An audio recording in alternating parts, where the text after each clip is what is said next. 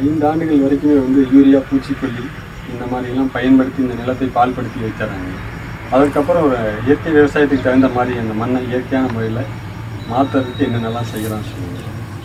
என்னென்னலாம் செய்யலாம்னு சொல்கிறதுக்கு பதிலாக சரிங்க ஐந்தாண்டுகள்னு சொல்கிறீங்க இல்லையா? ஆ, சரி. இதுக்கு முன்னாடி ஒரு முன்னாடி வரையறை இது கரெக்டாக நிறைய பேர் அப்படித்தான் சொல்கிறாங்க சரி சரிங்க. நிறைய பேர் சொல்லி பயமுறுத்தி விட்றாங்க மாறுறவங்கள சரிங்க ஆறு மாதத்தில் மண்ணை மாற்றலாம் ஓ இயல்பு தன்மைக்கு மண் மாறிடும் ஆறு மாதத்தில் மாற்றலாம் சரி சரிங்க இந்த ஆறு மாதத்தில் சரிங்க மாற்றுறதுக்கு என்ன செய்யணும்? சரி. கெட்டு போன நிலத்தை மாற்றுறதுக்கு என்ன செய்யணும்? என்ன செய்யணும்? இப்போ என்ன ஆயிருக்குன்னா கெட்டு போனதில் சரிங்க மண்ணில் உயிரோட்டம் நின்று போயிடுச்சு. சரிங்க உயிரோட்டத்தை திரும்ப கொண்டு வரணும். ம் ம் உயிர்ப்பை கொண்டு வரணும். என்ன செய்யணும்? ஒரு இருபது வகையான தானியங்களை ஒன்றா கலந்து விதைக்கணும். சரிங்க ஒரு இருபது நாள் கழித்து மடைக்கு உழுதுடணும். நிலம் மோசமாக இருக்கிறதுனால வளர்ச்சி ரொம்ப நல்லா இருக்காது. மடைக்கு உழுதுட்டா அடுத்தாப்புல வளர்ச்சி இன்னும் நல்லா இருக்கும். சரி சரி. மறுபடியும் அந்த இருபது வகையானதை கலந்து விதைக்கணும் இப்போ வந்து நாற்பத்தஞ்சு நாள் கழித்து மறுபடியும் மடைக்கு விழுவணும் அந்த இருபது வகை தானியங்களுக்கு வந்து ஏதாவது வகைகள் இருக்கு. சொல்ல போகிறேன் சரி சரி. இப்போ இந்த நாற்பத்தஞ்சு அந்த அதில் ஒரு இருபது நாள் இருபது நாற்பத்தஞ்சு பார்த்தீங்கன்னா அறுபத்தஞ்சு கிட்டத்தட்ட ஒரு ரெண்டு மாதம் அடுத்தாற் போல் மறுபடியும் விதைச்சு அதை என்ன செய்யணும்? நம்ம மூணு மாதம் கழித்து மடக்கி சரிங்க இப்போ மூணாவது மாதத்தில் என்ன பண்ணோம்னா கிட்டத்தட்ட ஒரு பயிரோடைய வளர்ச்சி காலம். அப்போ வந்து முழுசாக தானியத்தை விதைச்சு தானியம் அறுவடை வரலும் இருக்கக்கூடிய ஒரு பருவத்தில் அது வளர்ந்துருக்கும். அதை அப்படியே மடக்கி உழுதுடணும் நிலத்துல. விளைச்சல் எடுக்கிறதுக்காக இல்லை. அப்படி அப்படி செஞ்சிட்டோம்னா என்ன பண்ணுது?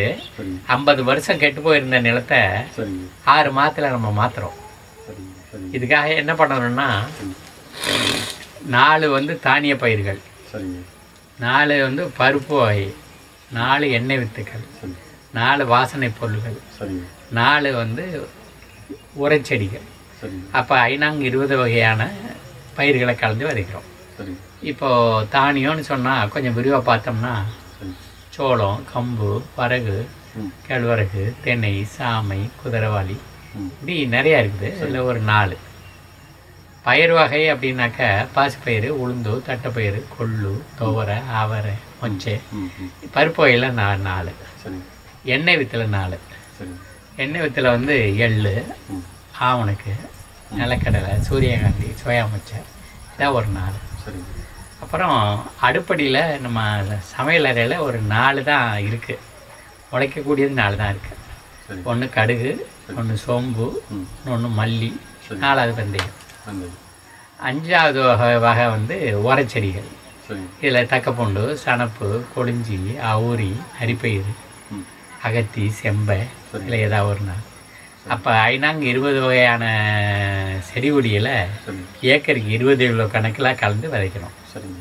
தடவை இருபது நாளில் மடக்கி விழுவுறோம் ரெண்டாவது தடவை நாற்பத்தஞ்சு நாளில் மடக்கி விழுவுறோம் மூணாவது தடவை மூணு மாதம் வச்சுருந்து மடக்கி விழுவுறோம் கிட்டத்தட்ட ஒரு ஆறு மாதத்துக்குள்ள ஆமாம் ஆமாம் முந்தைய வந்துடும் மடக்கி உழுதுட்டோம் அப்படின்னு சொன்னால் நம்ம கெட்டு போன நிலத்தை மாற்றிடுறோம் மறுபடியும் உயிரோடத்தை கொண்டு வந்தோம் பல வகைகள் காய்கறிகள் இது எல்லாமே வந்து இயற்கையான முறையில் தான் விளைந்தது. அந்த காய்கறிகளை வந்து எப்படி கண்டுபிடிக்கிறீங்க கண்டறிய முடியாது உங்களால். முடியாது. முடியாது. திங்கும் போது தான் நாக்கில் தெரியும். அதோட சுவையை வச்சு தான் பார்க்க சுவைச்சு தான் சொல்ல முடியும். சரி சரி சரிங்க ரசாயனங்கள் எந்த அளவுக்கு என்னென்ன பாதிப்புகளை வந்து அதான் மண்களை மண்ணை தாண்டி மனிதர்களுக்கு வந்து என்ன பாதிப்புகள் ஏற்படுது இப்போ நம்ம கிட்டத்தில் உச்சநீதிமன்றம் சரிங்க எண்டோசல்ஃபான்னு ஒரு பூச்சிக்கொல்லியை தடை பண்ணாங்க. அது பல இது வந்து கிட்டத்தட்ட ஒரு அறுபத்தஞ்சு வகையான ரசாயனங்கள். வெளிநாட்டில் தடை பண்ணதை இந்தியாவில் பயன்படுத்துகிறாங்க அதனால் இந்தியா வந்து திறந்து கிடக்கிற வீடு மாதிரி எந்த நாயும் உள்ளே வரும் எந்த நரியும் வரும்.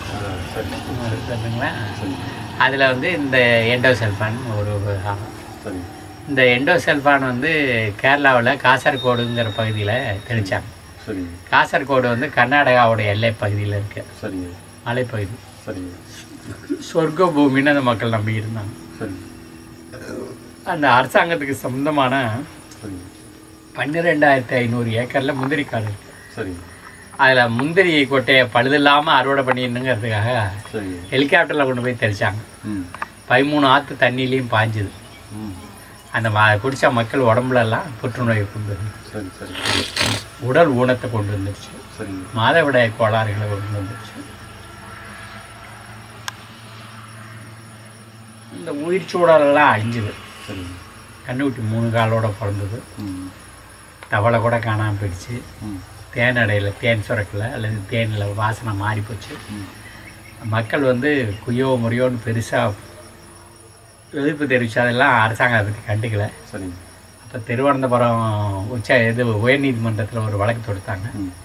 அந்த வழக்கில் அந்த நீதிபதி மூன்று ஆண்டுகளுக்கு அது தடை பண்ணி வச்சிருந்தார் தற்காலிகமாக சரிங்க. மேலும் அது உச்ச நீதிமன்றம் போகும்போது தான் அது வந்து இவ்வளோ பெரிய கொடுமையை நம்ம அனுமதிக்க முடியாதுன்னு சொல்லி அவங்க வந்து அதை தடுத்து நிறுத்துறாங்க. சரிங்க.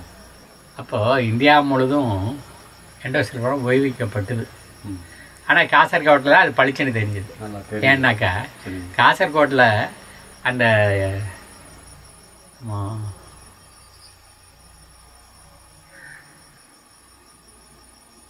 பிளான்டேஷன் கார்ப்பரேஷன் ஒரு அரசு சார்ந்த ஒரு அமைப்பு ஒன்று அதுகிட்ட அந்த குத்தகையை ஒப்படைச்சிட்டாங்க. அங்கே வெண்டை செல்வார் மட்டும்தான் தெளிச்சாங்க. அதனால இந்த விளைவுகள்லாம் அதனாலன்னு சொன்னாங்க. மற்ற இடத்துலலாம் இதை போல் இன்னும் நாற்பது விஷயங்களை வந்து தெரிஞ்சு இருக்கிறாங்க. அதனால எதனாலன்னு சொல்ல முடியல. மற்றபடி நாடு முழுதும் ஊனமுற்றவர்களாக பிறக்குது குழந்தை பிறக்கிறதும் பெண்கள் வந்து ரொம்ப அவதிக்குள்ளாவதும் எங்கே பார்த்தாலும் புற்றுநோயால் மக்கள் சிரமப்படுறதும் நீரிழிவு நோயால் பாதிக்கப்படுறதும் எல்லாம் இருக்குது சரி. மாடுகளே வந்து செத்துக்கிட்டே இருக்குது. மற்ற உயிரினங்கள் நல்லா இல்லை. நம்ம ஆஸ்பத்திரியில் மருந்து நிறையா விற்பனை ஆகுது. எவ்வளவு மருந்து விற்றாலும் சரி கடைசியில் வந்து செத்து புறமா தான் திரும்பி வந்து இருக்காங்க. அதான் என்ன நஞ்சு அது.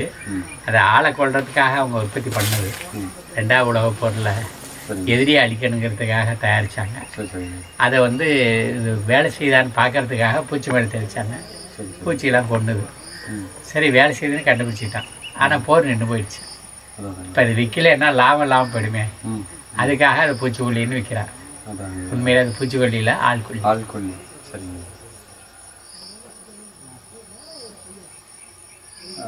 இயற்கை விவசாயத்தில் நவீன முறைகளை பயன்படுத்தி ஹைபிரிட் ஐட்டங்களாக இருக்குங்க அதுக்கு பதிலாகவே வந்து நம்ம மரபு விவசாயத்திலேயே வந்து அந்த மாதிரி உயர் விளைச்சல் கொடுக்கக்கூடிய ரகங்களை வந்து நம்ம வச்சிருக்கிற மாதிரி இருக்கு இல்லை அதை ரகங்களில் வந்து உயர் விளைச்சல் இல்லை. சரிங்க.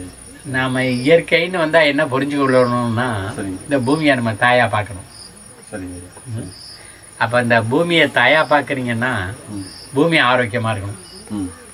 பூமி ஆரோக்கியமாக இருந்தால் அதில் வளர்கிற செடி ஆரோக்கியமாக இருக்கும். ஆரோக்கியமான செடியில் விளையிற உணவு பண்டங்கள் ஆரோக்கியமாக இருக்கும். அதை திங்கிற மக்கள் ஆரோக்கியமாக இருப்பாங்க.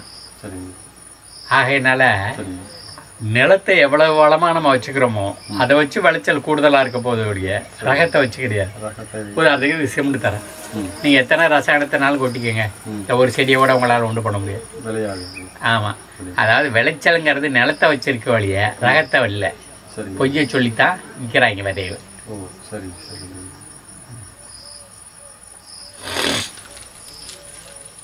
இயற்கை விவசாய விதைகள் நாற்றுக்கள் இது வந்து இங்கே நம்ம பண்ணை மாதிரி வெளியிலையும் மாதிரி. தமிழ்நாட்டில் கிட்டத்தட்ட நூறு பண்ணைகள் இருக்கு. நண்பர்கள் இயற்கை வேளாண்மை பண்ணியிருக்காங்க. நிறைய பண்ணைகள் இருக்கு. ஆனால் இந்த நூறு பண்ணைகளும் அங்கங்கே வந்து பயிற்சி மையங்களாக இருக்கிறதுக்கு தகுதியுடையவை. ஓ